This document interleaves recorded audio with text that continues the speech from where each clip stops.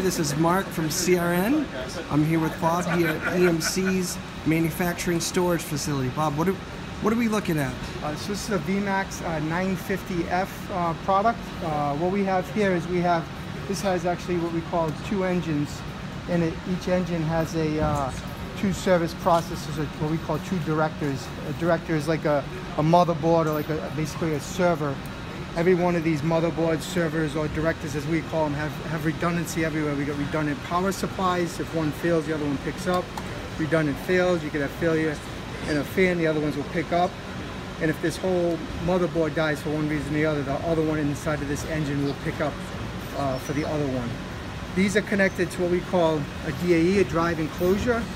Inside these drive enclosures, we can fit up to 120 flash drives or SSD drives. This is, this is empty, but you'd see this uh, could load up with 120.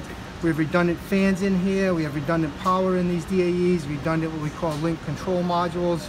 Uh, that's the stuff that connects it into these engines. So in this one cabinet here, which is basically one floor tile, we can fit up, I think it's about a petabyte of, uh, of capacity in a single floor tile.